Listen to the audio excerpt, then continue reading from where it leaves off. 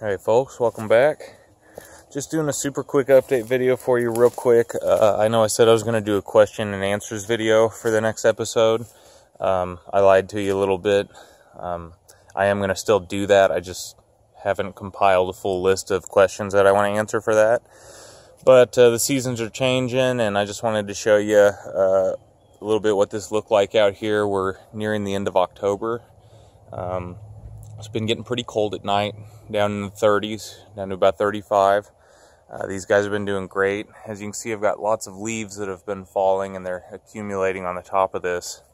So I think what I'm going to do here soon, before it gets too much heavier uh, up there, is I'll, I'll get in here with a blower and I'll just stand underneath and blow straight up at these leaves, try to blow all these leaves out of here. My grapevine still has green leaves on it. I imagine that'll be withering up soon. And uh, the rabbits have really been enjoying their uh, their new enlarged deck area. They've been laying out here enjoying the cool weather. I think they're glad to uh, be done with the summer heat. They seem to really enjoy this time of year, and I do too. Sal's got a mosquito flying around him, irritating him. We're still waiting for a good hard freeze to kill off some of these mosquitoes. They are thick out here. I tell you, that's the one, probably the main downside to having these rabbits out here is uh, ever since I started keeping rabbits, the mosquitoes in my backyard have just been crazy. You know, they always have these rabbits out here. They got a nice blood meal out here that they can they can have access to any time. So the the mosquitoes just stick around in my yard uh, now that ever since I've had these rabbits. So uh, that's really the only really the only downside there is uh, that I've had anyway with keeping these rabbits. Everything else has been just great. I really enjoy working with them. And this is Betty right here. Pretty sure she's got a nest underground, uh, pretty much right here where she's sitting. And then this is Snow White over here. And I'm not sure who has a nest right here, but that used to be a really deep hole that's been filled in. So I'm guessing that's a nest that somebody's trying to hide. What do you think, Betty?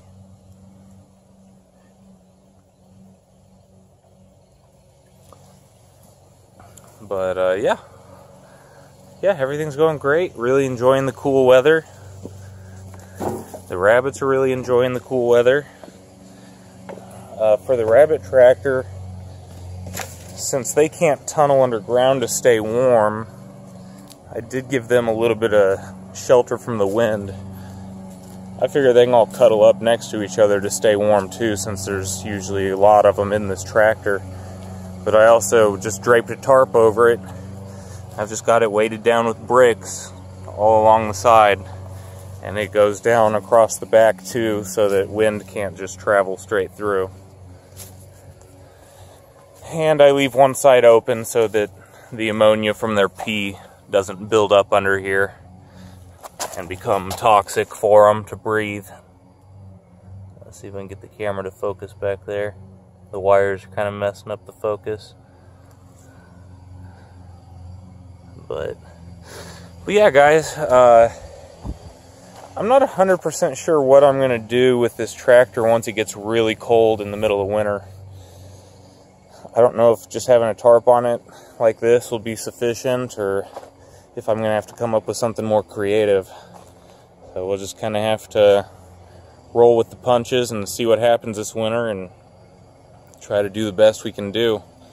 Uh, if you guys have any experience with keeping rabbit tractors in the winter, I would be uh, definitely more than happy to hear any advice you have for what you do for your rabbit tractors in the winter to keep them warm. I honestly think they're going to be okay. Since they're on the ground, they all cuddle up next to each other. It's not like they're in a hanging wire cage where there's wind above and below them. Uh, but we'll see. We'll see. It'll be uh, it'll be interesting to see how this works out this winter. It'll be my first winter where I don't have rabbits in hutches. So uh, I'm excited, guys. It's going really well so far. So uh, stay tuned, subscribe, keep checking back. I'll have more updates for you. I'll get that list put together of questions that you all have asked me over the past few months, and we'll do a questions and answers video real soon. And uh, yeah, until then, guys, thanks for stopping in, and uh, have a good one.